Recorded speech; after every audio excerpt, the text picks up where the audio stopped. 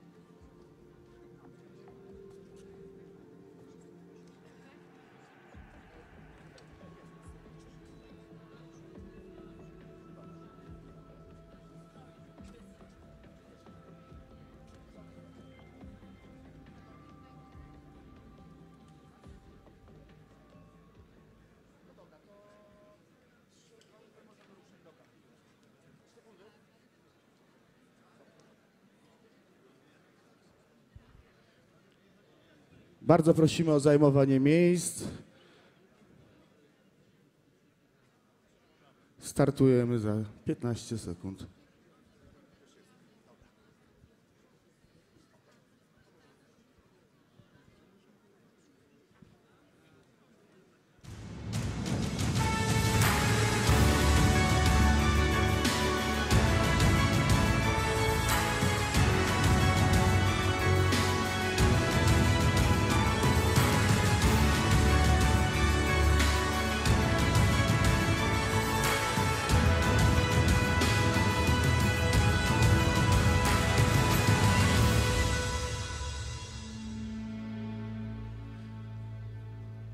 Moi drodzy, rozpoczynamy trzeci dzień Kampus Polska Przyszłości Olsztyn 2021.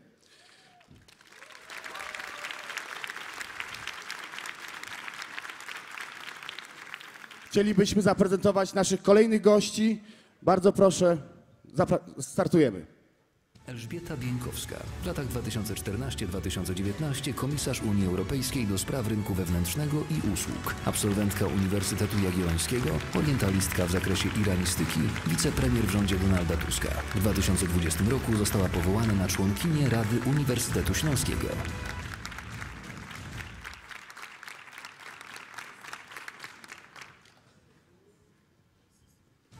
Cecilia Malmström. W latach 2010-2019 komisarz Unii Europejskiej. Początkowo do spraw wewnętrznych, a następnie do spraw handlu. Absolwentka Sorbony i Uniwersytetu w Göteborgu. Doktor politologii. Członkini szwedzkiej partii Liberałowie. Olga Kowalkowa. Członkini Białoruskiej Rady Koordynacyjnej do spraw przekazania władzy na Białorusi. W 2020 roku otrzymała nagrodę imienia Sacharowa, która została przyznana przez Parlament Europejski dla demokratycznej opozycji dla Białorusi.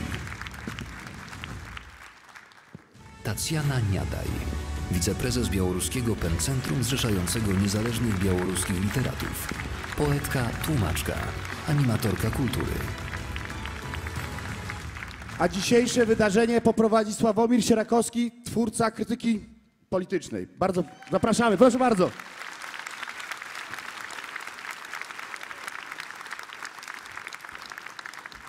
Gościem kampusu również jest prezydent elekt e, Białorusi, pani Swietlana Cichanowska. Niestety nie może być ostatecznie obecna z nami dzisiaj tu w e, Campus Arenie, natomiast mamy specjalne przesłanie do wszystkich uczestników, gości Kampusu Polska Przyszłości. Bardzo proszę. Dear Mr. Trzaskowski, ladies and gentlemen, dear friends, thank you for the opportunity to address you today at Future Poland campus and speak about Belarus and wider Europe, our mutual ties and common future. My country is now undergoing the traumatic process of transformation. August 9th marked exactly one year after the presidential elections in Belarus. These elections were rigged and stolen, and ex president Alexander Lukashenko has managed to hold power by force. But he has not managed to normalize and stabilize the situation. And since August 2020, Belarus has been in a state of constant political and humanitarian crisis. And it's getting worse day by day. month by month.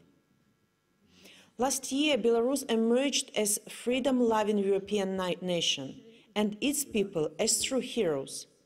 Heroes who fight for justice and their rights. And I'm proud of the Belarusians demonstrating incredible heroism every day for more than a year. The whole world is impressed and moved by the bravery of the Belarusian people who continue their peaceful protests against violence and stolen election. They are tired of lies, manipulations, propaganda, and disrespect for their dignity. They have a dream of a new democratic Belarus where their rights and freedoms are respected. This national awakening is accompanied by unprecedented repressions. More than 36,000 have been detained since August. Thousands are still in jail. Ten died. Among them, people of all ages, all walks of life, all Belarusian regions. There are 636 political prisoners in Belarus right now, and this number is growing daily. In fact, Belarusians are facing the harshest repressions Europe has seen in decades. This summer, Lukashenko has weaponized irregular migration through the territory of Belarus as a tool to create a crisis at the border with Lithuania and Poland and provoke the European Union. How this scheme of human trafficking works has already been investigated. Within the country, the repression has been intensifying to get rid of civil society in general. Dozens of national and regional media and more than 50 NGOs have been closed. Peaceful protesters, political activists, journalists, and human rights defenders are targeted in particular. We must make sure that the suffering will not be in vain. Belarusians deserve a better future and have already demonstrated their willingness to live in democracy. We announced the preparation for a national-wide strike, established the program of support of local communities and protest initiatives. We are grateful for the comprehensive plan of support promised to democratic Belarus by the European Commission. But we also ask to develop and present an emergency package to support Belarusian civil society and independent media. We need to help those journalists and civil society organizations who are still on the ground.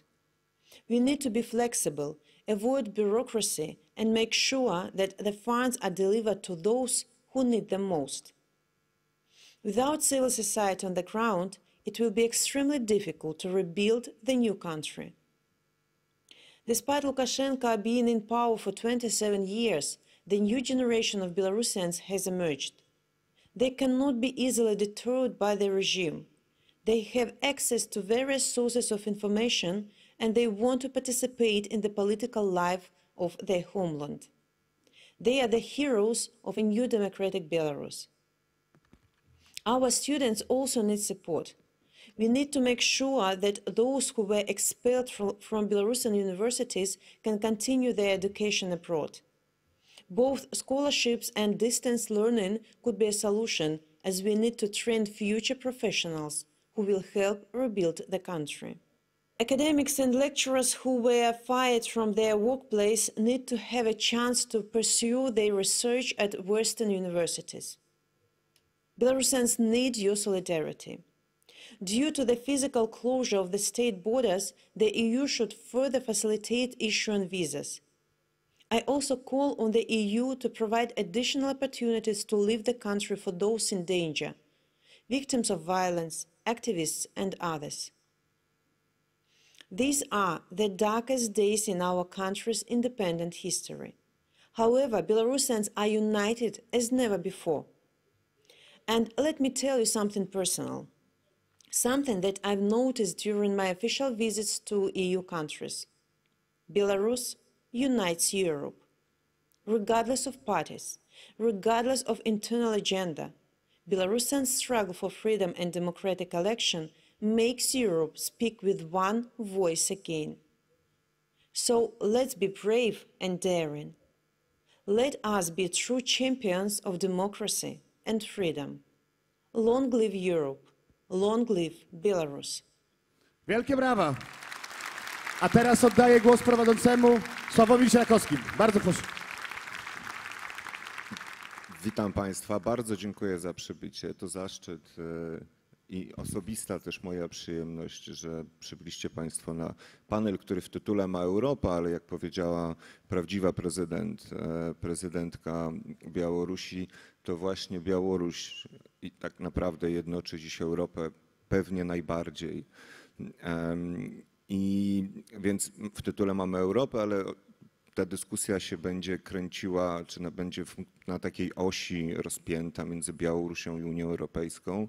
Jedno i drugie jest, jest dla nas bardzo dobrym przykładem. E, I Białoruś i Polska także, i takim pretekstem, e, powodem do tego, żeby o wartościach europejskich rozmawiać. Ja może skorzystam jeszcze z tej okazji, że, e, że powiem, że, że to jest og- ogromny atut Białorusi pani Światłana Cichanowska i my o niej wszyscy wiemy i wiemy także dlatego, że dostaliśmy tę możliwość, żeby przez, po, posłuchać pani Swietłany przy naszej okazji, przy okazji kampusu, ale Białoruś ma cały szereg e, liderek protestu, przede wszystkim liderek właśnie, także liderów i ma już kilka pokoleń opozycji, o których też trzeba pamiętać. Białoruskie protesty sprzed roku e, uczyniły znanymi na całym świecie takie osoby właśnie jak pani Światłana Cichanowska, ale, e, ale są też opozycjoniści, dysydenci białoruscy, którzy siedzą w więzieniu już wiele lat. Są bardzo twardzi, są bardzo zasłużeni, em, a oni wykonywali te prace e, nad białoruskim społeczeństwem obywatelskim, budowali je, budowali taką tradycję opozycyjną, e, krzewili wartości oporu, e, krzewili też wartości białoruskiej kultury, białoruskiego języka. E, To są takie osoby, mają też swoją lewicę, mają swoją prawicę. E, To jest bardzo nowoczesne społeczeństwo, nie tylko w takim sensie też technicznym. Nie wiem, czy wszyscy e, Państwo sobie zdajecie sprawę, ale Białoruś jest jednym z takich tygrysów Europy właściwie, czy była do czasu tych protestów w, nowych technologiach. 7% produktu krajowego brutto Białorusi jest wytwarzane w sektorze IT albo było. Białoruś się dorobiła takich globalnych marek jak PandaDoc, jak uh, War of Tanks czy, um, czy Viper. To są wszystko aplikacje białoruskie, ale Białoruś też jest nowoczesnym społeczeństwem, jeśli chodzi o wartości demokratyczne, o społeczeństwo obywatelskie. Ja może skorzystam z tej okazji i przypomnę przynajmniej trzy postaci, któ- które, z którymi nie możemy porozmawiać ani na żywo, ani choćby w taki sposób e, bo siedzą w więzieniach białoruskich. Maria Kalesnikowa to jest taka, takie alter ego, powiedziałbym, Światłany Cichanowskiej, która od 7 września, 7 września została aresztowana e, przez KGB w Białorusi.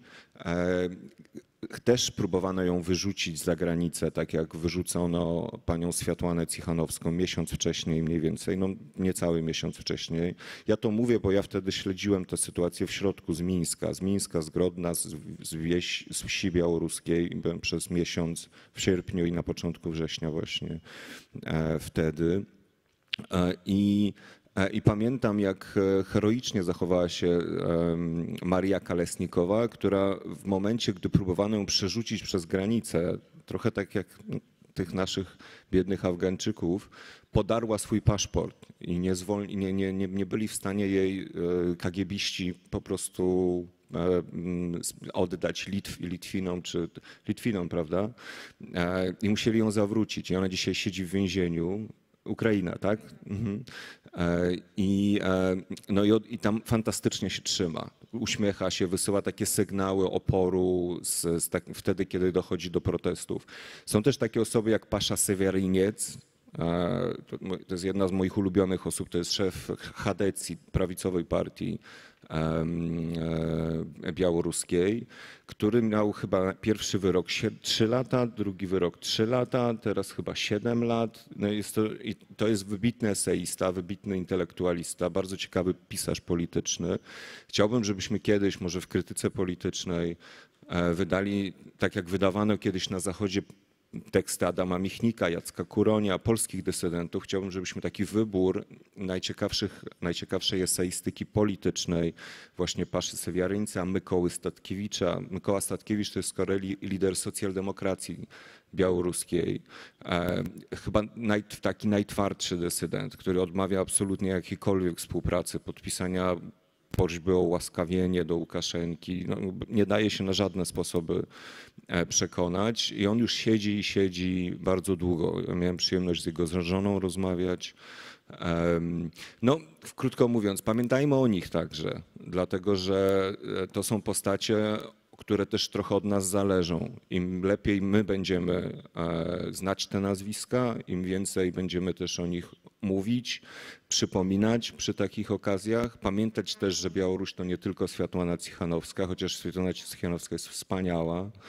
E, To po prostu jest to zawsze też forma ochrony dla nich. Du- Dużo większy koszt Łukaszenko będzie płacił za pobicie albo za, za tortury, jeśli będziemy my znali te nazwiska, pisali o nich i reagowali. E, I nie zapomnimy, bo to będzie jeszcze trwało lata.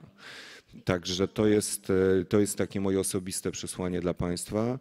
E, Teraz będę miał zaszczyt e, przedstawić już nie tylko liderki i liderów opozycji białoruskiej, ale także naszych gości wspaniałych, a mamy tutaj rzeczywiście doskonałą reprezentację i Białorusi, i Unii Europejskiej. Zacznę od białoruskiej strony. Po mojej najbardziej prawej stronie siedzi pani Tatiana Niedbaj, która jest e, białoruską poetką, tłumaczką, taką animatorką kultury, menadżerką kultury też, która odgrywała też istotną rolę e, podczas tych e, protestów, tak jak właściwie każdy wolny Białorusin, a szczególnie wolna Białorusinka, bo tu liderkami i na ulicy, i nie tylko były Białorusinki. Pani Tatiana była szefową PEN klubu białoruskiego. To w czasach dyktatury zawsze jest ważna instytucja. Tak było w Polsce, tak było na całym świecie. A po, swojej, po odbyciu swojej kadencji była później wiceszefową PEN klubu białoruskiego, który jest jedną z ostatnich instytucji, które Łukaszenko rozbił, dosłownie w ostatnich dniach, tygodniach. Bardzo dziękuję, że pani Tatiana zgodziła się być z nami. Dziękuję bardzo i miło mi wszystkich widzieć.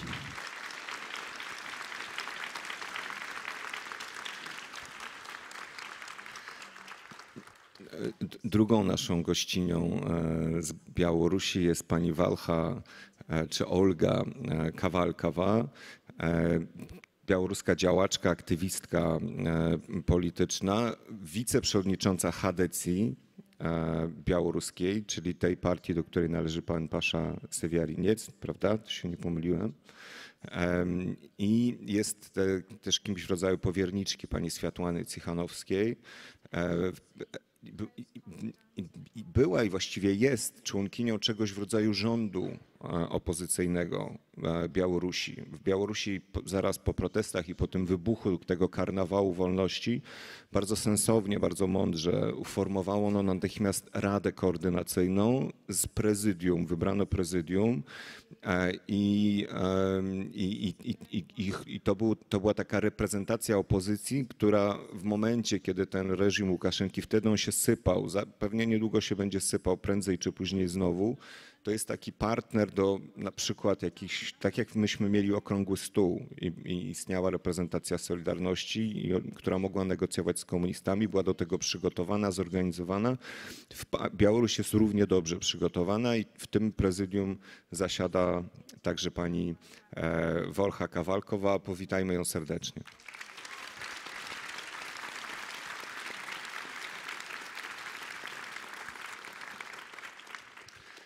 Teraz e, mamy reprezentację Unii Europejskiej zjednoczonej przez Białoruś. E, Zacznę od naszej zagranicznej gościni, pani e, Cecylia Malmström, która jest szwedzką polityczką. Pani, biografa pani Cecylii jest bardzo długa, to jest bardzo bogata i udana kariera. E, Była posłanką do Parlamentu Europejskiego od 1999 roku do 2004. E, Później e, e, była ministrą do spraw europejskich e, w szwedzkim rządzie. Później była dwukrotnie e, panią komisarz. e, W, najpierw w komisji Manuela Barroso, później Jean-Claude'a Junckera. E, A w tej chwili uczy i bazuje na swoich doświadczeniach na, uniwersy- na różnych uniwersytetach, ale przede wszystkim na Uniwersytecie w Göteborgu. Witam panią serdecznie.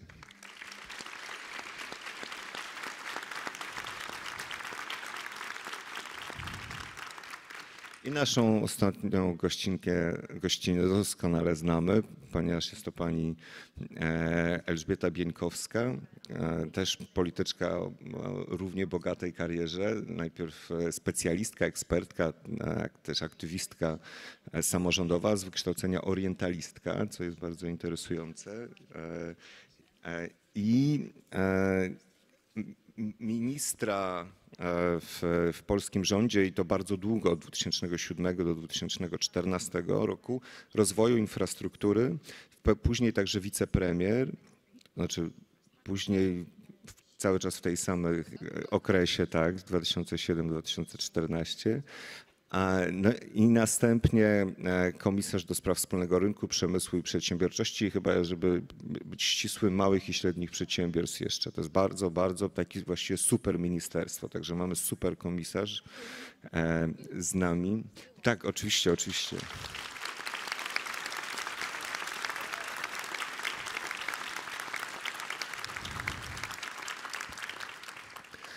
Bardzo się cieszę, że ten skład właśnie tak wygląda. Nie tylko chodzi mi o tak zwany gender balance, który uważam za wreszcie e, adekwatny do e, siły wykształcenia i bardzo wielu różnic e, między kobietami i mężczyznami, także w polskim społeczeństwie.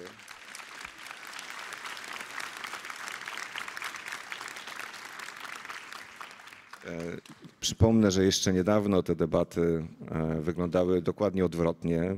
Prowadziła pani, siadało czterech panów i rozmawiało prawie do aborcji na przykład. Em, Dzisiaj jest, dzisiaj jest inaczej, już niech tak zostanie na zawsze. Em, Chciałbym, żebyśmy e, skorzystali z tej okazji, że mamy Unię Europejską po jednej stronie e, i reprezentację białoruskiej opozycji intelektualnej, kulturalnej i politycznej po drugiej stronie, bo tu się wytwarza pewne napięcie i pewne wzajemne oczekiwania na, k- które są bardzo ważne, żebyśmy podtrzymywali i żeby też ta współpraca się jak najlepiej układała. Ale zacznę od tego, może od pytania do, do pani Walchy. E, O to, jak ten karnawał białoruskiej wolności, czegoś co przypominało polską Solidarność, jak on zmienił Białorusinów. Ponieważ myśmy o Białorusi wiedzieli bardzo niewiele. To był najmniej znany zakątek Europy przed 2020 rokiem. I mogliśmy mieć różne takie stereotypowe przekonania, że to jest jakiś skansen, że to jest właściwie społeczeństwo niewiele różniące się od rosyjskiego. Niektórzy w ogóle mogli mieć wątpliwość i taką wątpliwość historycznie w Polsce bardzo długo wyznawano, że taki naród jak Białorusini i Białorusinki w ogóle nie istnieje. Co się stało w tym czasie? Jeśli się nawet nie zmienił rząd w Białorusi, to pewnie to społeczeństwo musiało się pod tym wpływem tych protestów e, jakoś zmienić. Jakie to jest dzisiaj społeczeństwo? Także z punktu widzenia wartości europejskich oczywiście. А, Дякую за питання. Насамрэч, калі казаць пра нашы адрозненні, tak то naprawdę, jeśli понад chodzi Расіем o адрозніваемся nasze двумя różnice, to рэчамі. od Rosji odróżniamy А, się Мы ніколі ні з pod кім не ваявалі. dwie, Мы z dwóch завжди з powodów. усімі Nigdy z сябравалі nikim nie і walczyliśmy, гістарычна zawsze Беларусь ze wszystkimi się знаходзіцца przyjaźnіліśmy. все ж таки у I цэнтры Еўропы historycznie Białoruś znajduje się і ў jednak w Беларусі ніколі centrum не было Europy. імперыяль- I w Białorusi імперыялізму. nigdy І nie таму było żadnego казаць про imperium, то, więc што mówienie мы o маглі tym, быць że аднолькавымі, moglibyśmy ну być гэта tacy м, sami, неправда, можа to быць jest гэта to стэеатыпна, nieprawda. Być але może jest to беларусы stereotyp, адрозніваюцца, мы ale Białorusini адрозніваемся się ад różnią. як я My адчуваю, мы się różnimy, tak jak ja to czuję. My się różnimy. od wszystkich naszych krajów sąsiadujących z nami. Jednak Białorusini są osobami bardzo inteligentnymi, e, narodem fachowców e, są i oczywiście w ciągu 26 lat dyktatury. мы адвучыліся уплываць мы Oduczyliśmy не верылі się свае od сілы мы адвучыліся wpływu na уплываць на прыняццё cokolwiek, nie wierzyliśmy рашэнняў w własne бо siły. лукашенко зрабіў усё Ba- каб мы не baliśmy się podejmować ўдзельнічалі ў жыцці decyzji, сваёй bo краіны У Łukaszenko нас не zrobił было wszystko, мясцовай żebyśmy nie супольнасці, які былі uczestniczyli w życiu аб'яднаны, własnego kraju. Nie było а, nas там пэўнымі lokalnych некімі wspólnot, które by się інтарэсамі łączyły а, і ze sobą. ну мы так жылі И I я tak думаю, что żyliśmy. а, I 2020 myślę, год że rok это такий виник 2020 to jest, e, jest takim коли skutkiem е, білоруська tego, kiedy to białoruskie społeczeństwo obywatelskie po cichutku rosło. Jest to nawet skutek. Powiedziałabym, że 2020 rok jest rokiem, który nas zmienił, gdyż duży wniosek zrobili ci wszyscy politycy, działacze społeczni, kulturalni, którzy przez 26 lat wierzyli w naród białoruski. I powiem szczerze, wiara w mniejszość to jest bardzo trudna sprawa. Wierzyć w większość, e, która władz, którą właśnie zobaczyliśmy w roku 2020. To jest łatwe, kiedy widzimy liderów, kiedy nas to nakręca. To e, jest łatwe. Natomiast e, przez 26 lat e, trwała bardzo trudna praca liderów politycznych, którzy też siedzieli w więzieniu z powodu swoich przekonań. Ale ci liderzy wierzyli w to, że idziemy we właściwym kierunku, w kierunku wolności. I to było najcenniejsze też w ubiegłym roku. Myślę, że kampania prezydencka roku 2020 2020 to jest pewien skutek, no, ponieważ społeczeństwo obywatelskie zaczęło się kształtować jeszcze wcześniej, kiedy się zaczęła cała sytuacja z COVID-em, kiedy państwo białoruskie w ogóle bez żadnej odpowiedzialności potraktowało ten problem. I społeczeństwo generalnie wzięło na siebie odpowiedzialność za tę sytuację. Społeczeństwo zaczęło pracować, pomagać lekarzom, zbierać pieniądze. I wszyscy zrozumieliśmy wówczas, że państwo nie wykonuje swojej podstawowej funkcji, jeśli chodzi właśnie właśnie y, o sam, o państwo samo w sobie. Myślę więc, że społeczeństwu białoruskiemu wydawało się, że być może po raz pierwszy nie było żadnego planu, żadnego pomysłu na kampanię wyborczą w 2020, bo kiedyś był scenariusz, mamy kandydata, wychodzimy na plac, na ulicę, protestujemy, zaś w 2020 roku nie mówiliśmy ludziom, co mają robić. Plan był taki, żebyśmy ludzi kierowali, natomiast żeby ludzie sami podejmowali decyzje, bo tylko tak kształtuje się społeczeństwo. I oczywiście e, zrobiliśmy w centrum była każda pojedyncza konkretna osoba. Wcześniej liderzy szli na początku, ludzie szli za nami i czuliśmy, że my czegoś potrzebujemy, zaś ludzie niekoniecznie. Natomiast od ubiegłego roku to Białorusinom, dla Białoru, Białorusinom zależy na ich własnym życiu. Białorusini po raz pierwszy wzięli odpowiedzialność za własne życie i od tego zaczyna się kształtowanie się państwa. Gdyż autorytaryzm, kiedy jest jedna osoba, która kształtuje politykę,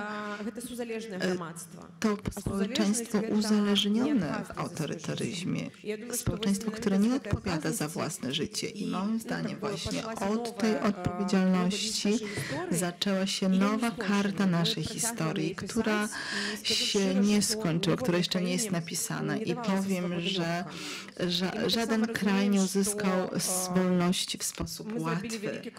I wiem, rozumiemy, że zrobiliśmy duży krok, ale musimy iść dalej.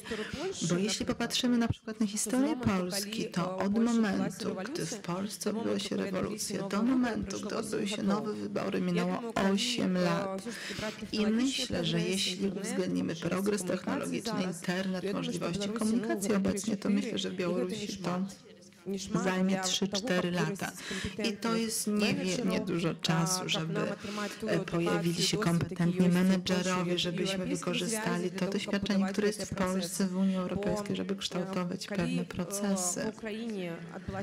Bo kiedy się odbyła się, bo kiedy odbyła się rewolucja w Ukrainie, ostatnia rewolucja w roku 2014, wielu ekspertów z polskich, europejskich pojechało do Ukrainy, żeby wspierać te procesy. Myślę, że przed nami teraz jest odpowiedzialne zadanie, żeby ci Białorusini, którzy znajdują się w emigracji i mają aktywną pozycję obywa- obywatelską, otrzymali wsparcie tutaj w Unii Europejskiej po to, żeby mogli później wrócić do Białorusi, aby odbudowywać te procesy.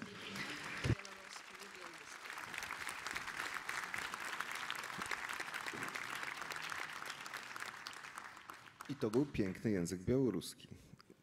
Też będziemy mieli okazję pi- pięknego języka białoruskiego posłuchać jeszcze raz. E, Chciałbym zapytać e, m, panią Tatianę, jaki jest właściwie stosunek e, Białorusinów dzisiaj do Unii Europejskiej z jednej strony i do Rosji, do Rosji z drugiej strony?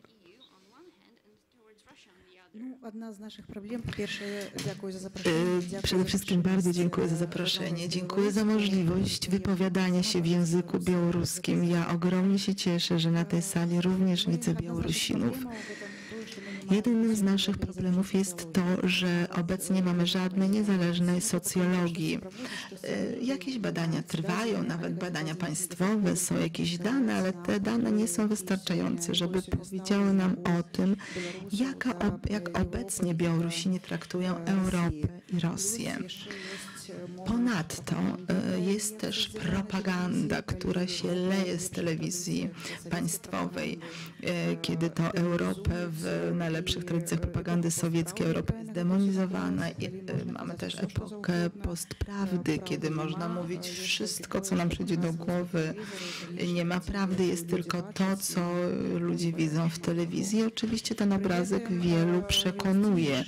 Także są inne procesy, kiedy ludzie przestają wierzyć telewizji, e, kiedy niezależna prasa, niezależne media niż, są niszczone.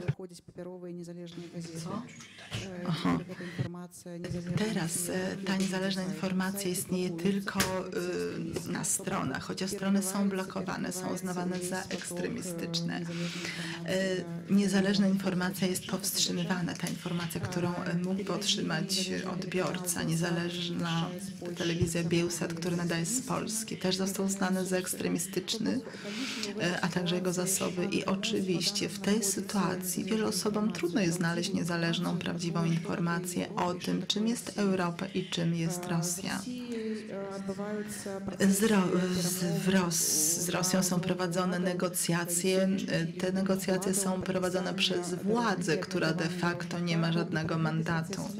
My nie wiemy nic o tych procesach. Te procesy są e, prowadzone poza wiedzą społeczeństwa. Nic nie wiemy o tym, co jest omawiane. E, nie wiemy, kiedy zostaną podpisane jakiekolwiek mapy drog drogowe, na jakich warunkach i tak dalej. I w tej sytuacji braku jakiejkolwiek informacji, oczywiście trzeba powiedzieć, że ja bardzo się cieszę z tego, że w protestach nie było e, haseł antyrosyjskich, bo tak naprawdę protesty były nie przeciwko komuś. Pamiętamy Euromajdan ukraiński i tam bardzo wyrazistą była intencja, żeby przekonać e, władzy, żeby przekonać dokumenty z Europy e, i mieliśmy wyrazisty cel przeprowadzić sumienne wybory, bo wybory zostały nam skradzione. Chcieliśmy powstrzymać gwałt. Chcieliśmy, żeby wypuszczono wszystkich więźniów politycznych i niestety te wszystkie żądania są nadal aktualne. Po protestach, po wyborach e, postawiliśmy te, wymaga- te żądania. E, I te żądania są białoruskie, a nie antyrosyjskie czy antyeuropejskie. Przy tym Białoruś jest częścią cywilizacji europejskiej. Jest to kultura, która opiera się o wartości europejskiej. Dla mnie bezsprzecznym jest to, iż Białoruś jest częścią Europy. I kiedy mówimy o wartościach, w ogóle bardzo bliską jest mi pomysł Jerzego Giedroycia, który postrzegał nasz region Polski, Białorusi, Ukrainy, Litwy jako jeden region, jako to dobrosąsiedztwo, które pozwoli nam przetrwać w tym świecie.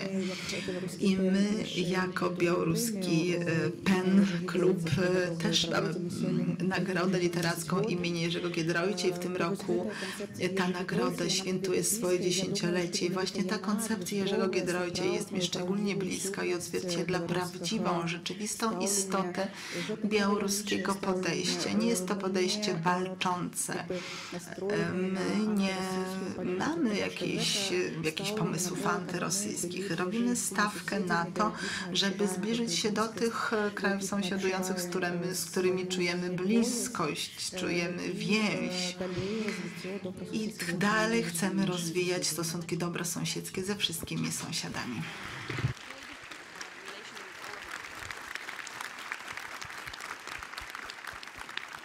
Adwocem pani Walcha Kawalkowa spadalnie panikowe. Też dodać, że w kampanii 2020 roku w Białorusi po raz pierwszy nie było wyboru kursu zewnątrzpolitycznego. Pamiętamy rok 2006, kiedy wybieraliśmy w sposób oczywisty Unię Europejską i myślę, że świat tak naprawdę bardzo szybko się teraz zmienia i wartości na papierze, na papierze stają się, odchodzą na drugi plan, bo jednak to, co mamy w sercu, to jest ważne. I tutaj myślę, że na przykład Unia, dla Unii Europejskiej jest ważne, żeby głośniej mówić o własnych wartościach, poszanowania, tworzenia możliwości dla rozwoju osoby i jednostki, możliwość wyboru. Więc kiedy ludzie wybierają wartości z sercem, to jest ważne. I jeśli chodzi o kampanię roku 2020, to w sposób bardzo wyrazisty po jednej stronie stał Łukaszenka jako prawdziwe zło, prawdziwa przemoc. I po drugiej stronie Białorusini, e, pokojowi Białorusini, którzy szanują siebie nawzajem i to jest kontrast. E, Kiedy mówimy o agresorach, na przykład o Rosji, to niko, nigdy nie możemy się od tego oderwać. No, mamy tą wspólną granicę i tak musimy wspólnie ten region zamieszkiwać. I myślę, że Białorusini teraz łączą nie tylko cały świat, pokazując, jak trzeba się szanować nawzajem, kochać siebie nawzajem. E, Białorusini łączą też i Polskę, bo nawet w Polsce Białoruś pod pewnym względem e, tworzy konsensus. Dwie siły polityczne nie mają w tej kwestii różnych pozycji, więc możemy być takim swoistym mediatorem zarówno w Polsce, jak i na całym świecie.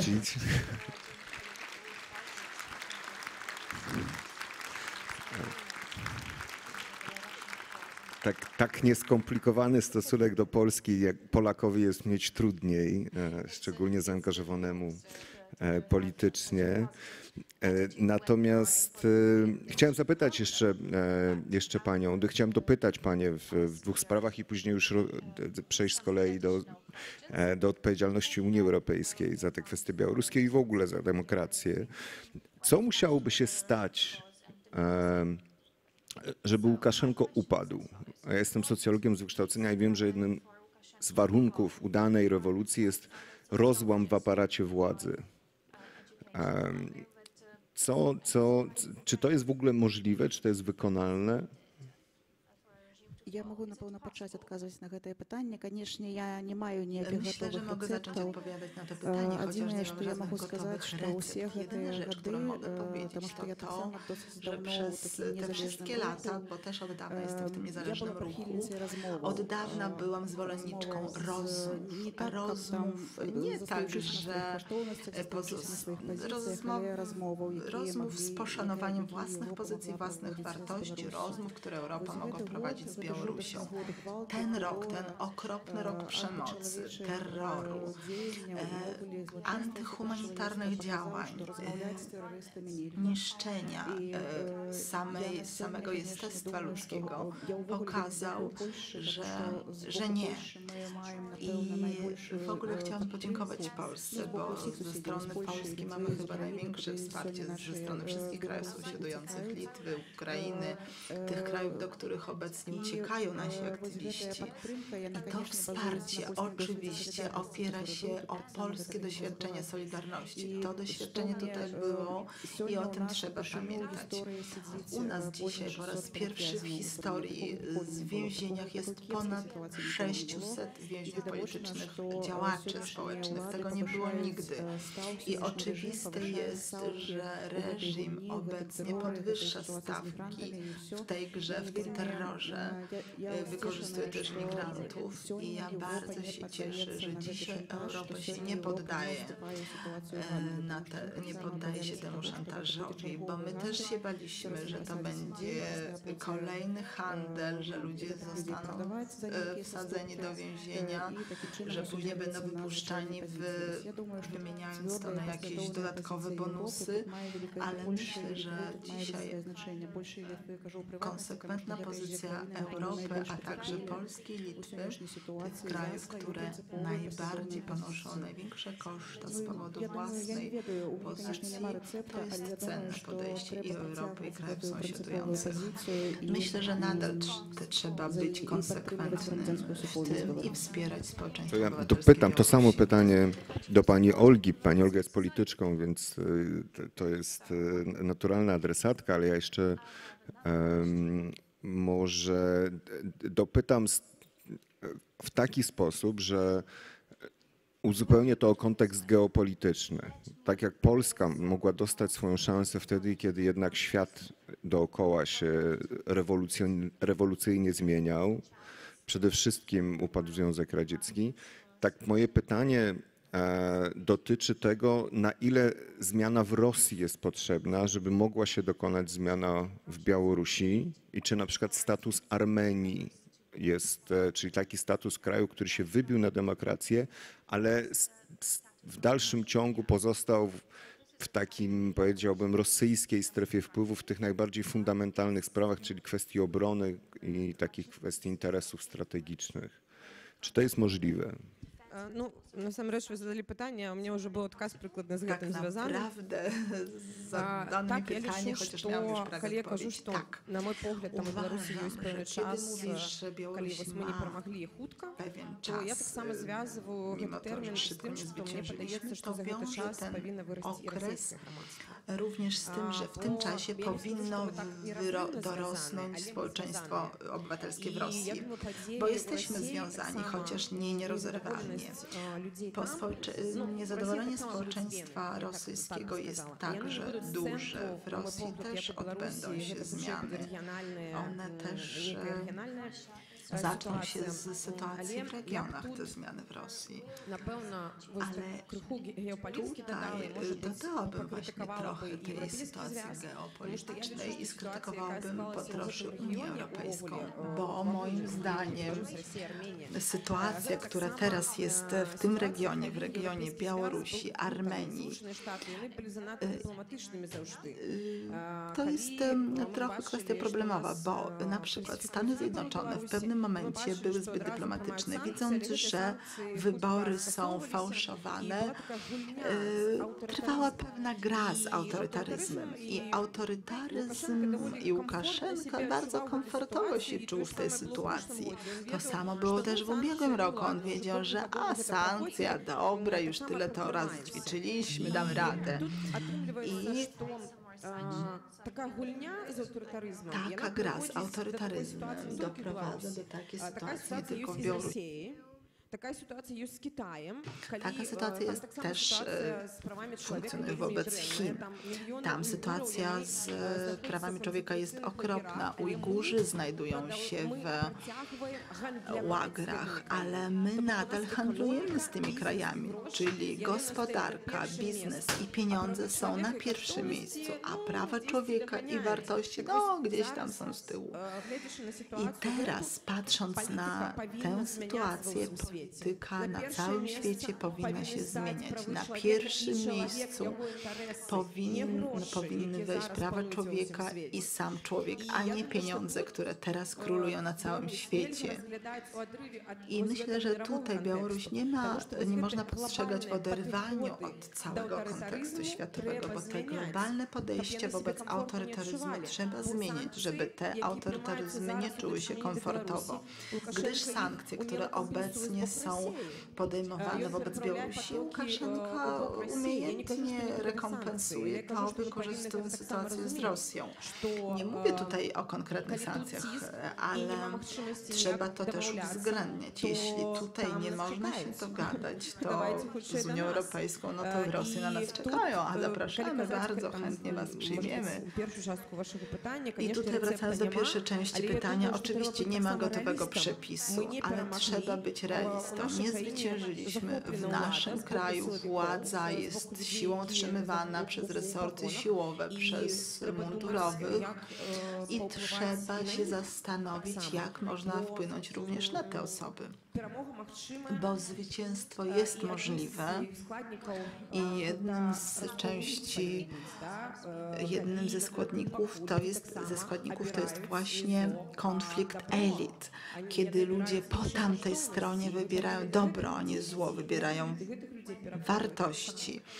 Musimy więc dotrzeć do tych ludzi po tamtej stronie również tych ludzi przekonać.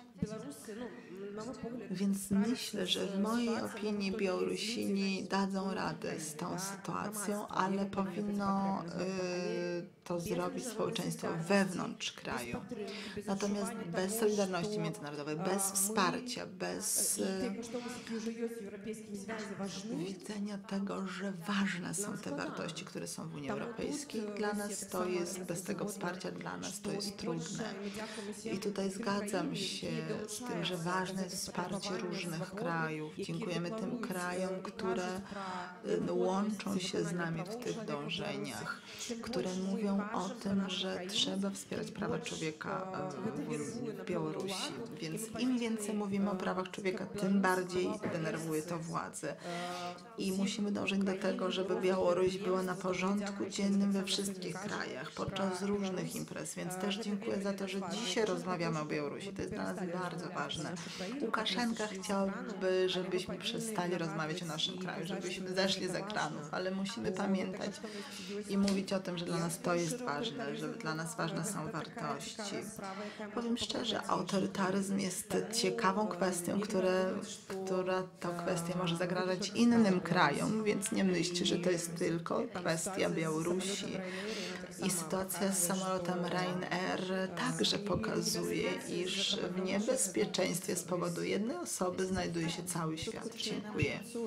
No tutaj nawet bardziej mamy szczęście, bo Łukaszenka za każdym razem daje pożywkę mediom światowym albo z y, Cimanowską, która przyjęła obywatelstwo polskie, z, albo z migrantami. Cały czas daje pożywkę e, prasie światowej, chociaż o Białorusi mogliby zapomnieć. Jest ten Afganistan, są inne problemy, inne e, kwestie, ale Łukaszenka nie daje e, zapomnieć o Białorusi, więc dziękuję Wam, że o nas pamiętacie. To, to ja jeszcze dopytam takie szybkie pytanie. Ale nie mogę go nie, mogę go nie zadać. Czy po, czy, czy po tym doświadczeniu z Pratasiewiczem jesteście Panie dobrze w Polsce chronione? Czujecie się bezpiecznie? Czy ktoś tutaj dba w wystarczający sposób? Nie mam żadnej ochrony i myślę, nie wiem, czy powinnam ją mieć, ale chciałabym powiedzieć, że osoby, które wyjeżdżają z Białorusi, te osoby, których e, spotykam tutaj, żeby pomóc im z kwestiami pobytowymi, przyjeżdżają w bazie stres, bardzo stresującym stanie. I samo przejście polskiej granicy, te osoby przyjeżdżają, ciekawe z Białorusi mówią o tym, że my już od trzech, od czterech godzin oddychamy wolnością, nie boimy się, że do nas przyjdą mundurowi, więc samo przekroczenie granicy białorusko-polskiej już daje ludziom łatwiejsze oddychanie.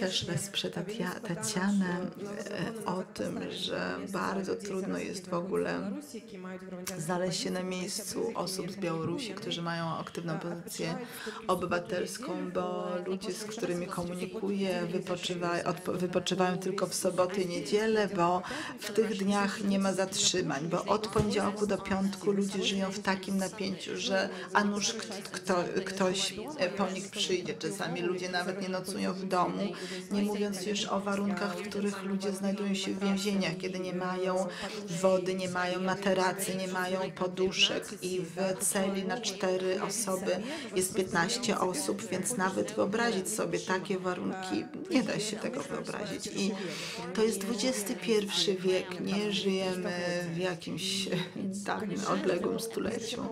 I szczerze mówiąc, przez pierwsze pół roku w Polsce było mi dosyć trudno bo e, siedziałam w więzieniu, z białoruskiego więzienia zostałam wywieziona przez pracowników KGB na granicę. I nie jest to doświadczenie, które chciałbyś komuś życzyć, bo nie wiesz, gdzie ciebie wiozą, być może wiozą cię do lasu, ale e, nie baliśmy się w domu i też nie chcielibyśmy się bać ani w Polsce, ani w innym kraju na świecie, ale myślę, że to daje jeszcze większe napięcie, kiedy dodajesz tą myśl, że a, coś z tobą może być nie w porządku. Jednak walka z dyktaturą w Białorusi to jest droga, którą wybraliśmy jeszcze tam. Dziękuję bardzo. No dobrze.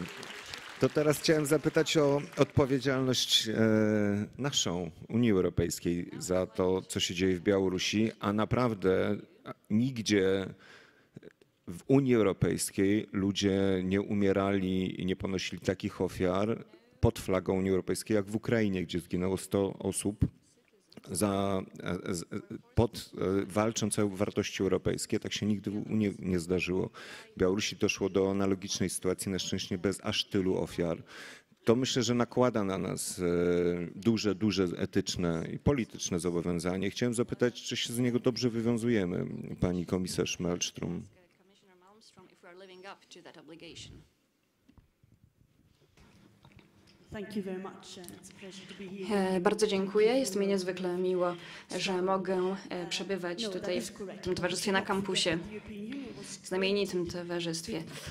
Unia Europejska e, powstała właśnie dlatego, że w przeszłości Europa doświadczyła koszmaru wojny i ludzi, którzy ginęli za wolność i demokrację. Naszym celem było zapewnienie, że ta historia się nie powtórzy.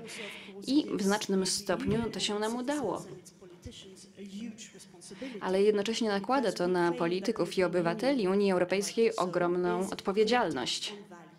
Unia Europejska została zbudowana na wartościach. To wartości nas jednoczą.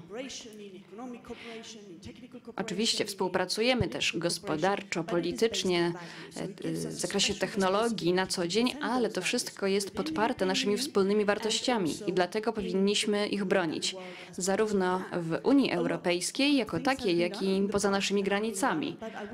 Już udało nam się e, osiągnąć wiele, lecz to nie wystarcza. Jako, że to na nas spoczywa ta odpowiedzialność, musimy dbać też o to, żeby u nas w domu był porządek. I w Unii Europejskiej są państwa, które nie wywiązują się z zobowiązań, które na siebie przyjęliśmy, które nie przestrzegają naszych wartości. Dochodzi do naruszeń praworządności, do naruszeń wolności prasy, do naruszeń wolności pracy e, akademickiej, do naruszeń praw mniejszości, na przykład e, osób LGBT. I to nie są indywidualne e, p- przypadki, e, to są systemowe naruszenia. Więc jak my możemy z tego miejsca pouczać Białorusinów o przestrzeganiu praw człowieka, jeżeli w Unii Europejskiej mamy to samo wyzwanie, ten sam problem?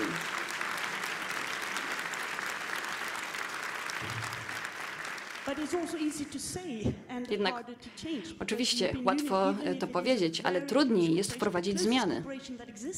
Unia Europejska to przykład najbliższej współpracy między państwami, jaka istnieje na świecie, ponieważ państwa zrzekły się części swojej suwerenności, jednak Unia Europejska wciąż składa się z państw suwerennych, więc ma prawne ograniczenia, ale Unia Europejska musi pokazać e, siłę, musi z najwyższych szczebli musi iść przekaz, że pewne zachowania są niedopuszczalne. E, Komisja Europejska, w której zasiadałam i ja, i Ela, pociągnęła do odpowiedzialności przed sądem państwa za naruszanie praw podstawowych. I jeżeli y, sprawa sądowa nie wystarcza, jeżeli wyrok sądu nie wystarcza, to muszą zatem pójść sankcje finansowe. Musimy być y, asertywni. Nie możemy przekazywać znacznych funduszy państwom, które naruszają prawa podstawowe.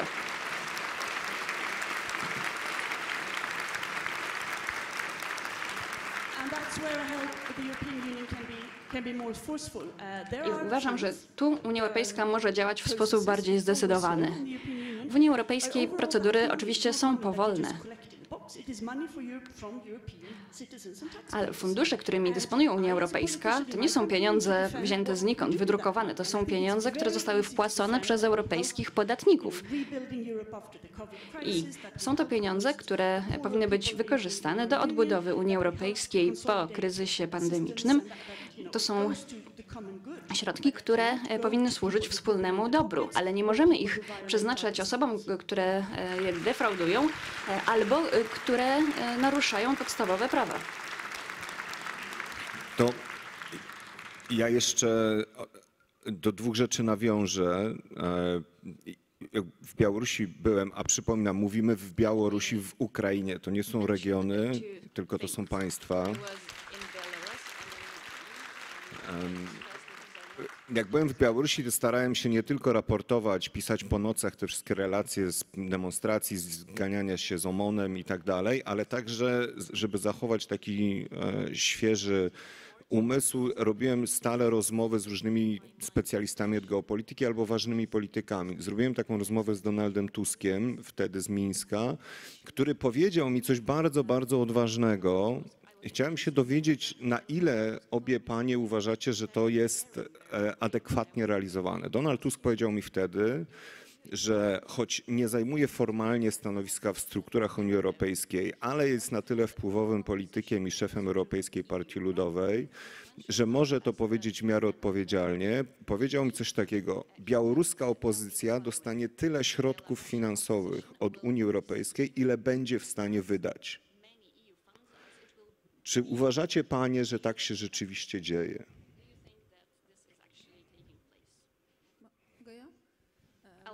May I take this question?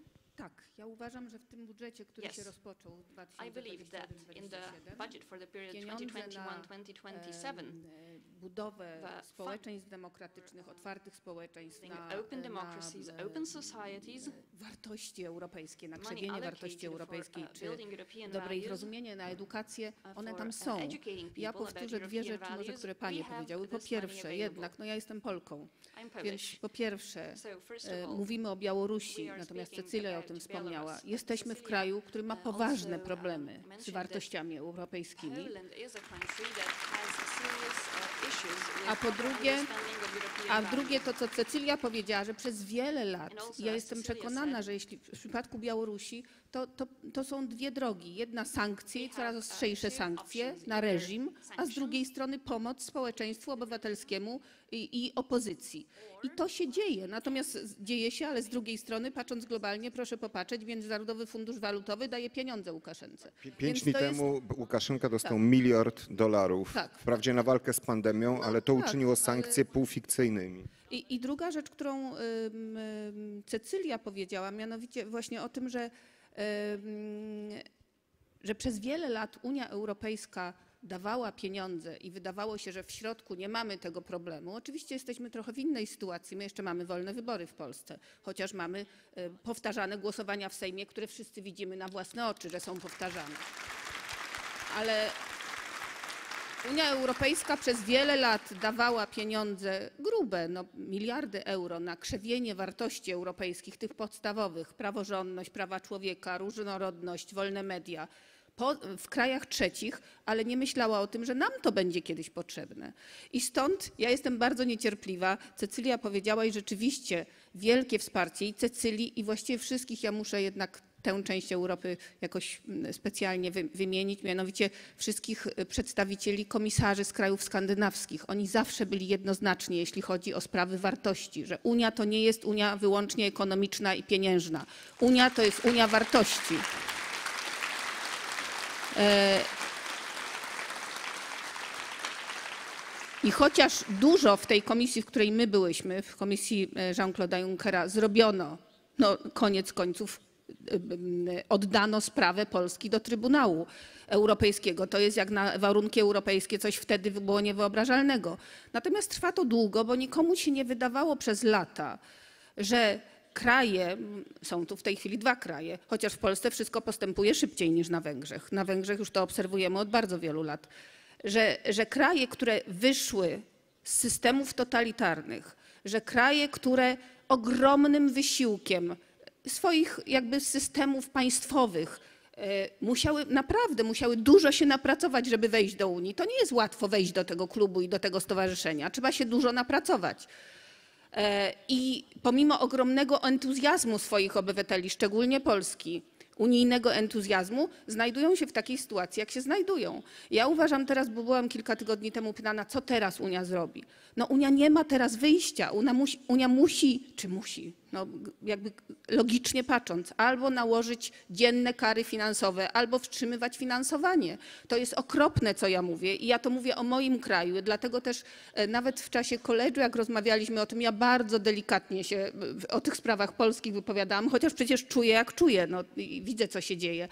Ale e, ale no nie może tak być, że rzeczywiście opowiadamy wszystkim, jakim my jesteśmy wspólnotą wartości i krzewimy, czy chcemy krzewić i promować te wartości w krajach trzecich, a w środku dzieje się nagle coś takiego. I dlatego jedno zdanie, bo miałam nadzieję, chyba mam nadzieję cały czas, że trochę z Państwem porozmawiamy, czy z Wami porozmawiamy, ale jednym zdaniem tylko w tym budżecie, który w tej chwili się rozpoczął w tym roku, są pieniądze specjalne na wolne społeczeństwo na, dla NGO-sów, które pójdą bezpośrednio z Brukseli. To są pieniądze porównywalne, nawet większe trochę, z tymi, które były przeznaczone zwykle dla krajów trzecich. To jest w tej chwili tam prawie mm, 1,6 miliarda euro na 7 lat, ale to są pieniądze dla wszystkich organizacji, które zajmują się praworządnością, które zajmują się równością obywateli, które zajmują się tolerancją, e, które zaj- dla wolnych mediów. I one będą składać, to jest też, no to jest wstyd, prawdę powiedziawszy, ale one będą mogły składać wnioski bezpośrednio do komisji, nie do Polski, bo w Polsce widać, że ten system już zupełnie nie działa, że utworzono Narodowe Centra Wszystkiego, już Narodowe Centrum Wszystkiego, co może być, Narodowe Patriotyczne i nasze Centrum Wszystkiego i, i dajemy naszym i swoim. W związku z tym jest taki dodatkowy instrument. To jest, to jest y, no, rola Unii Europejskiej, którą ona przyjęła. Natomiast no, są dwie, dwie, mm, dwie drogi wszędzie w Białorusi i w Polsce. Jest droga sankcji, jest droga dawania tym, którzy chcą jednak te, te, te, te wartości podtrzymywać. E, Ale, ale ponad tym wszystkim i w Białorusi, i w Polsce Unia Europejska nic nie zrobi, jeżeli społeczeństwo jest obojętne, e, przyglądające się, mówiące to nie moja sprawa, albo jeszcze mamy wszystko w sklepach i, i jeździmy na wakacje, w związku z tym nas to nie obchodzi, e, albo pobłażliwe. E, No, e, to jest problem. Ja to mówię od bardzo wielu lat, jeszcze wtedy jak w komisji my te, te długie lata żeśmy ślęczeli nad poszczególnymi krokami, jeśli chodzi o Polskę i Węgry, ale bez polskiego społeczeństwa i bez białoruskiego społeczeństwa, białoruskie jest w tej chwili bardzo aktywne, jak, jak widać. Nawet wydaje mi się, no tutaj po was tego nie widać, ale jednak w Polsce, no i mnie się czasami wydaje, na przykład po tym 11 sierpnia, już kończę naprawdę, po tym 11 sierpnia, mnie się wydawało, że my wszyscy powinniśmy wyjść na ulicę i wrzeszczeć. No wszyscy. A, no a nie wychodzimy. To ja- chciałem powiedzieć, że trochę, trochę widać. e, e,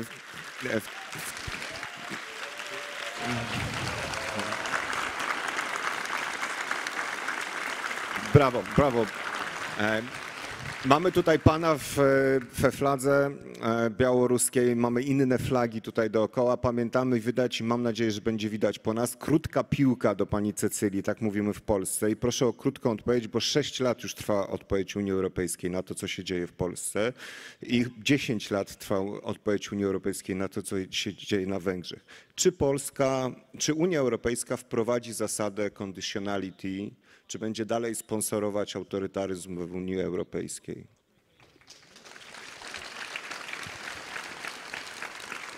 I hope it will uh, apply the conditionality. Mam nadzieję, mam nadzieję, że e, conditionality countries. zostanie been Jest presja z. Parlamentu Europejskiego, z wielu Uh, państw członkowskich, ale muszę Wam powiedzieć i z bólem, że nie jestem pewna.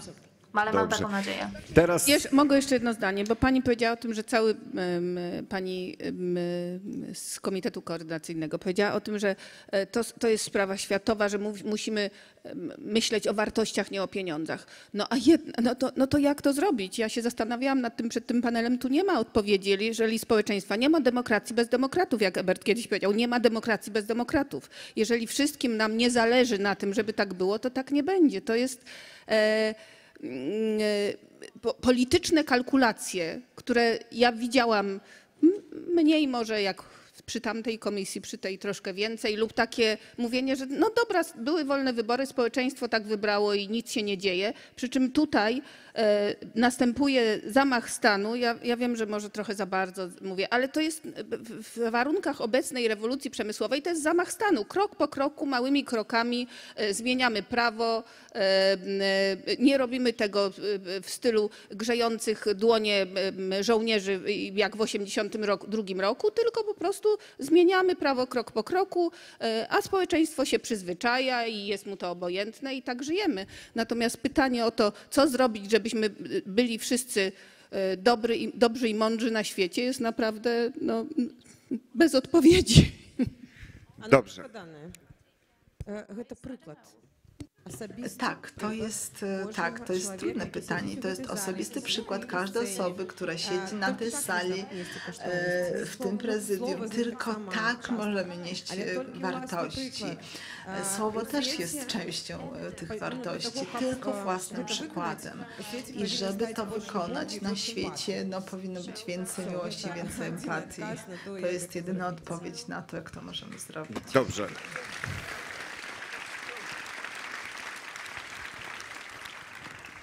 Czwórka gości, bardzo ciekawy temat, e, bardzo angażujący, więc ja miałem bardzo dużo pytań. Mam nadzieję, że niektóre przynajmniej także Państwo się identyfikujecie i chcielibyście zadać podobne, ale wiem, że macie także swoje, dlatego przechodzimy do pytań z sali.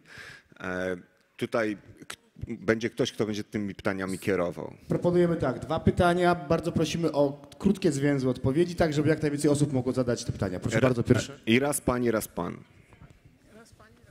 Dzień dobry, nazywam się Albert, jestem z Białego Stoku. Mam do Państwa pytanie odnośnie Białorusi. Mianowicie, e, mianowicie mamy sytuację, że chcemy, aby, aby Białoruś była państwem demokratycznym, aby odbyły się wolne wybory. Z drugiej strony mamy Łukaszenkę, który rządzi od 1994 roku, ma dobre układy z Rosją i stara się mieć w miarę dobre układy z Unią Europejską. Ostatnimi czasy, wiadomo, zostało to zaburzone.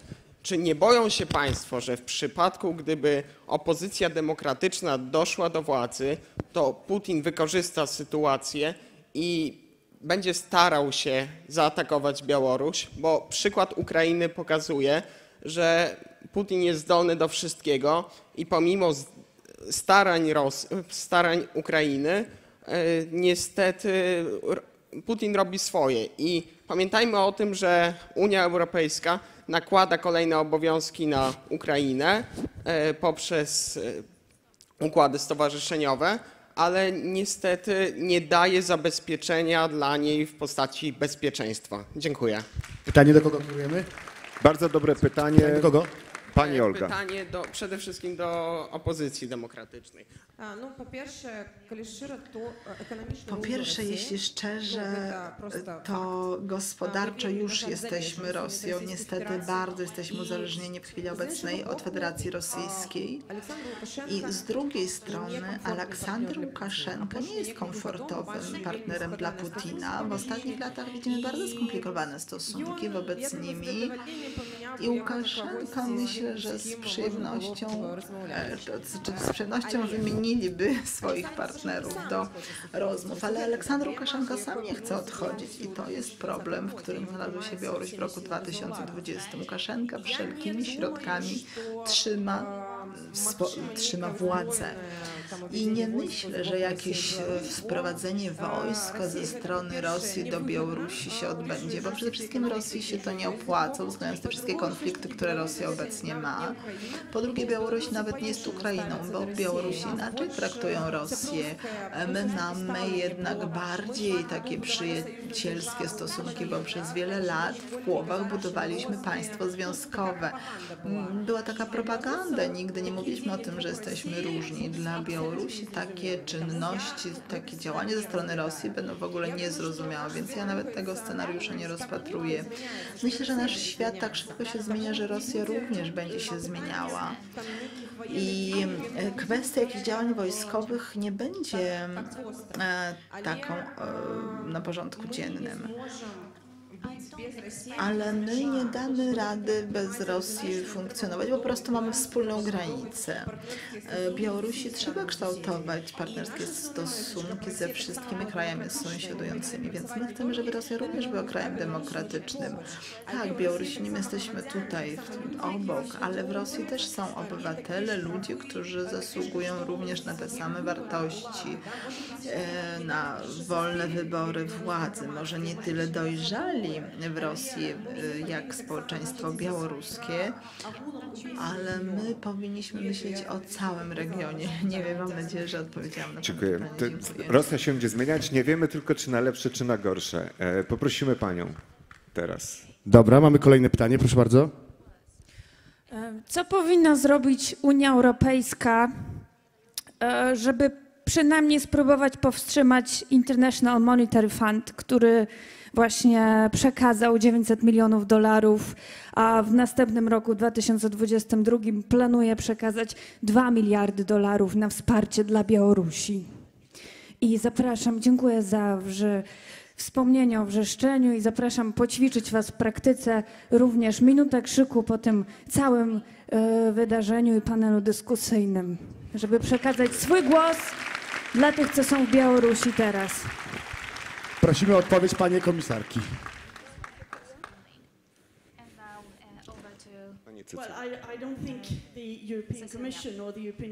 No, nie wydaje mi się, że Komisja Europejska może wpłynąć na Międzynarodowy Fundusz e, Walutowy. Podczas pandemii widzimy kryzys demokratyczny na świecie w wielu miejscach. Widzimy środki, które zostały podjęte, które są trudne do wyobrażenia, na przykład w Białorusi, ale też powoduje cierpienie indywidualnych osób.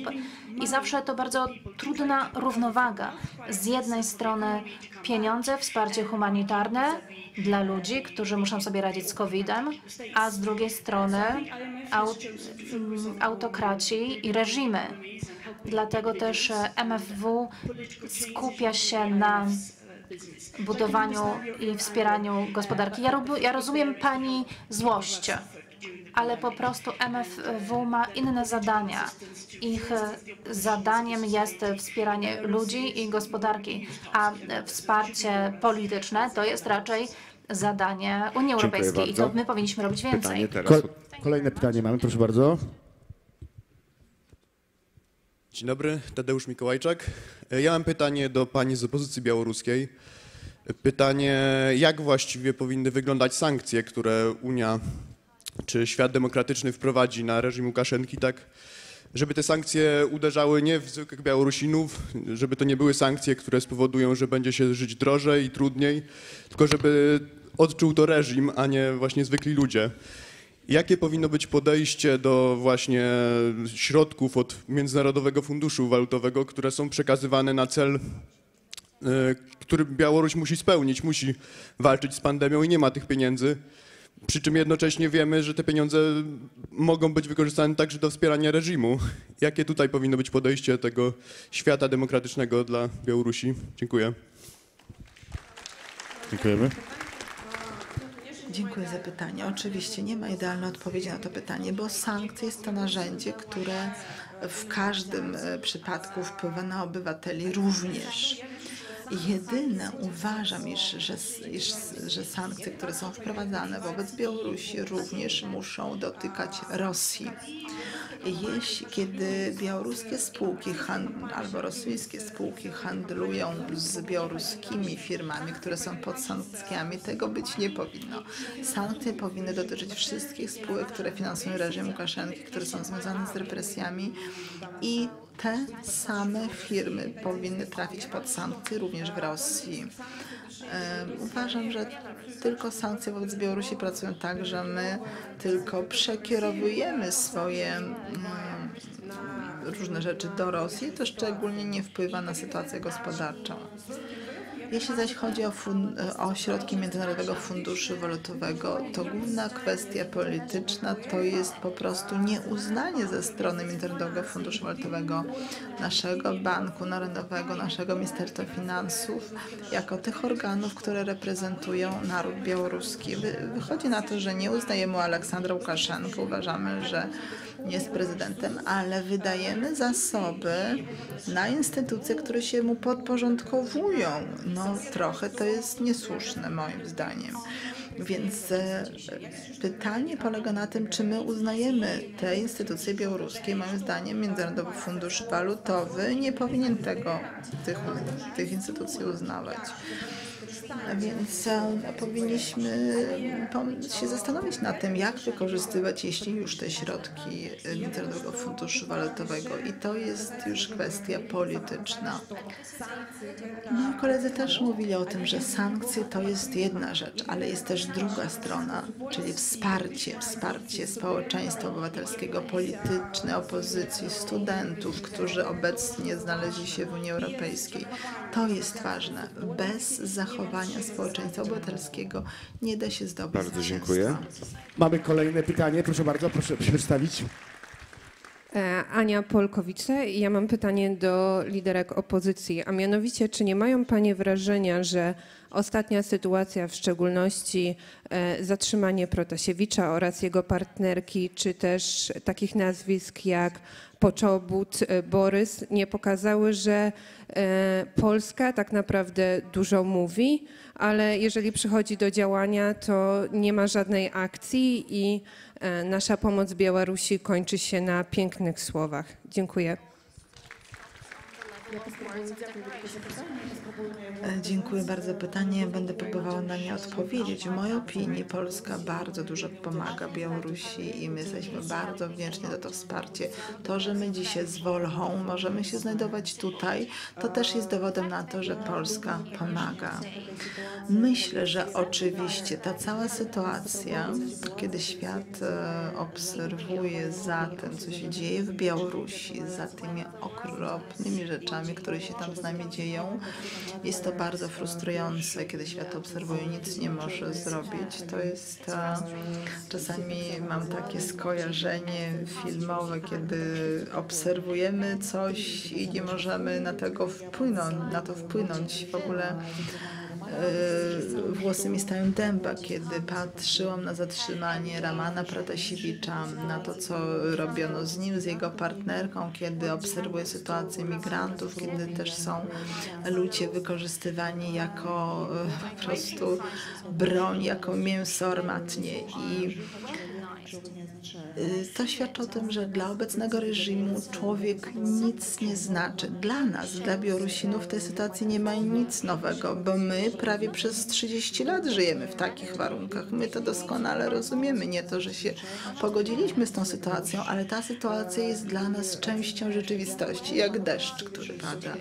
I jedyne, że dzięki Raman, Ra, Ramanowi Pratasiewiczowi Europa również o tym się dowiedziała, bo ta sytuacja również dotknęła interesów Unii Europejskiej i e, sam Raman zrobił duży wniosek w to, żeby, duży wkład w to, żeby Europa zaczęła bacznie obserwować e, Białoruś i to, co robi w stosunku do Białorusi. Chciałabym dodać y, to, że jesienią ubiegłego roku e, Unia Europejska jednak była bar, bar, większym obserwatorem, bo czekałam w ubiegłym roku, że e, Niemcy, że Francja będą bardziej aktywne, a te kraje raczej wówczas obserwowały tę sytuację. Być może było to związane z tym, że jednak dużo wysiłku poszło na sytuację w Ukrainie, ale to, co zobaczyliśmy po sytuacji z samolotem Ryanair, kiedy niebezpieczeństwo dotknęło wyborców polityków europejskich, europejscy politycy bardzo szybko zaczęli reagować. Rozwiązanie tej sytuacji, reakcja była o wiele bardziej poważna. I to rzeczywiście też pokazuje, że często my przede wszystkim chcemy się opiekować własnymi wyborcami, ale widzimy jednak, że świat się zmienia i nasze znajdo- to, że jesteśmy tutaj obecne, świadczy o tym, że e, te podejście siebie nawzajem Warszawy, trzeba zmieniać. Tak, ja mam pytanie do pani komisarz Bieńkowskiej, ale też również do całej reszty gości, tutaj w szczególności do e, opozycji demokratycznej z Białorusi. E, Pani komisarz wspomniała o przyzwyczajaniu krok po kroku społeczeństwa do patologii legislacyjnej. No, przykładowo e, niedziele niehandlowe, tak? Pięć lat temu byśmy w ogóle o tym nie pomyśleli, tak? A teraz to dla nas norma. E, I pytanie, co zrobić, żeby społeczeństwo się nie przyzwyczajało do tej patologii, żeby e, pokazywać społeczeństwu, że to nie jest normalne, to co się dzieje. I tutaj w szczególności powiem do pani komisarz, tak, bo, bo była pani wicepremierem w Polsce, tak, bo, ale też do, tutaj do pani z Białorusi. Dziękuję. Od, odpowiedź A, jest a to dos- nie jest pytanie do ciebie czasem, a nie do polityków? No, bo właśnie odpowiedź jest, odpowiedź jest dość prosta. To znaczy, ja bym jednak odpowiedziała o tym, że trzeba mieć dostęp do prawdziwej informacji, no, czyli wolne media. E, Trzeba mieć dostęp do edukacji, no i trzeba jednak czuć, czyli trzeba budować społeczeństwo obywatelskie, żeby ludzie się czuli odpowiedzialni za swój kraj. No i to jest już nie, to jest już właśnie odpowiedź do, do nas wszystkich. No ja siebie też, też za obywatela uważam. No, do, no dobrze, to jeszcze jedno pytanie, ostatnie już. A w sprawie niedziel handlowych, no Polacy się do tego przyzwyczaili. Nie było jakiegoś dużego ruchu, że nie chcemy. To znaczy, to jest w ogóle drobna rzecz, nieważna, ale nie było. Mnie się na początku wydawało, nawet Węgrzy się przeciw temu zbuntowali, a myśmy jakoś przeszli do tego. To jest w ogóle, to nie jest nic w porównaniu z tymi rzeczami, o których tutaj rozmawiamy, ale y, dlatego jest jak jest, że Polacy nic nie zrobili w tym, w tym zakresie. Nic, po prostu. Kilka wpisów na forach i tyle. I tak jest. Proszę. So, okay, I want to ask a, a question to the European Union side because uh, Moje pytanie you jest e, do e, przedstawicielki Unii. Europejskiej. W Unii uh, dużo mówi się o europejskich wartościach, jednak widzieliśmy, że w, widzimy, że w Gruzji na przykład widzimy odwołanie do wartości europejskich, widzimy europejskie flagi. To samo widzimy na Bałkanach. I kiedy e, do Unii Europejskiej dołączą nowe kraje,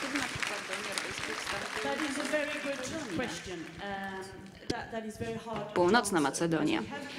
E, Trudno e, odpowiedzieć e, na to pytanie, ponieważ są państwa, które zgłosiły wniosek o członkostwo do Unii Europejskiej, na przykład Ukraina niedawno powiedziała wpuśćcie nas i to rozwiąże wiele naszych problemów. Mamy też e, państwa oficjalnie kandydujące do Unii Europejskiej, z którymi prowadzimy negocjacje. Jednak one postępują powoli. Mam wrażenie, że w Unii Europejskiej jest pewne zmęczenie rozszerzeniem. I panuje takie podejście, no dobrze, może zajmijmy się tym, co mamy e, w Unii teraz, bo mamy kryzys gospodarczy, mamy wewnętrzne e, turbulencje. Więc to, co możemy zrobić, to zachęcać kraje, które aspirują do Unii Europejskiej, do zachęcania ich do, zachęcać się do wprowadzania e, reform, które są niezbędne do wstąpienia do Unii Europejskiej. Ale jeżeli państwo nawet przeprowadzi odpowiednie reformy, lecz następnie, już kiedy będzie członkiem Unii Europejskiej, zacznie naruszać podstawowe prawa, to brakuje nam instrumentów do rozwiązania tej sytuacji. Więc pojawia się pytanie, w jaki sposób Unia Europejska może lepiej wspierać państwa, na przykład e, bałkańskie, do pełnego przeprowadzenia tych reform. Czyli kiedy wstąpią do Unii Europejskiej, będą na to członkostwo naprawdę gotowe. Opracowujemy strategię w tym zakresie i mamy nadzieję, że kiedy wreszcie tej jesieni będziemy mieli za sobą już e, e, najtrudniejszy okres e, pandemii, na wiosnę otworzymy na nowo negocjacje, ponieważ daliśmy ludziom nadzieję, a potem ją im odebraliśmy. I myślę, że to jest trudne doświadczenie, zwłaszcza dla młodego pokolenia. Takie męczące pytanie, czy kiedykolwiek będziemy mieli szansę wstąpić do Unii Europejskiej. Zatem Unia Europejska musi zająć bardziej klarowne stanowisko. Komisja Europejska wykonuje pracę negocjacyjną, ale ostateczna decyzja należy do państw członkowskich. Mam nadzieję, że w okolicach nowego roku będziemy w stanie zaproponować bardziej I, I, I, I try konkretne rozwiązania. Uh, if it depends on me, it Postaram be now, especially with Balkans. Mówić krótko. Of Gdyby course, zależało to I ode have- mnie, I- I've never, procedura uh, rozszerzania seen zaczęłaby myself się as a już, zwłaszcza na Bałkanach. now. Ale nigdy nie Uh, the postrzegałam siebie jako polityczki, mogę to teraz powiedzieć. Ale wszyscy muszą e, zdawać sobie sprawę z tego, co dzieje się w Polsce i na Węgrzech. W naszych krajach podjęto ogromny wysiłek, żeby e, wstąpić do Unii Europejskiej. Był to też duży wysiłek ze strony dawnych us, e, państw członkowskich, e, państw zachodnioeuropejskich. Te kraje nas w Unii Europejskiej przyjęły. A Państwa naszego regionu, mimo iż doświadczyły totalitaryzmu, robią krok wstecz. Wracają do rozwiązań, do czegoś, co już powinno być dawno zapomniane. As huge as, as I would like it, because I Więc think- nie I wiem, czy poparcie Serbia, e, Unii Europejskiej dla dołączenia nowych państw, takich jak, będzie- czy będzie ono tak silne? Ja uważam, że Serbia e, czy Północna Macedonia e, W mojej jednozdaniowej konkluzji nas naszej dyskusji wzmocniłbym jeszcze to, co powiedziały obie panie. Pamiętajmy, że los Gruzji, Mołdawii, Ukrainy, Białorusi i innych państw, które dzięki zaangażowaniu Polski i Szwecji, to są autorzy Partnerstwa Wschodniego, Polska i Szwecja, e, że te, los tych państw zależy od nas i w tym sensie są zakładnikami naszej walki, naszego powrotu do demokracji i wartości europejskich. Bardzo dziękuję Państwu. Szanowni Państwo, dziękuję bardzo. Tatiana Niadbaj, Olga Kowalkowa, Cecilia Malmström oraz Elżbieta Bieńkowska. Ogromne brawa. Dziękujemy. Informacja e, porządkowa.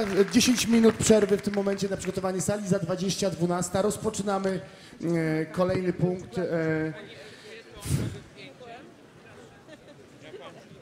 Bardzo ważna informacja. Proszę pamiętać o tym, żeby zestawy słuchawkowe odłożyć na miejscu, w którym, w którym siedzicie. Tak byśmy mogli je spokojnie em, zebrać. Nie wynosimy tych słuchawek ani tych zestawów z sali. Bardzo serdecznie o to proszę. E, Kwest, jeżeli chcemy robić zdjęcia, to które możemy przez 5 minut, potem będę prosił, żebyście przeszli e, przed, e, przed Arena.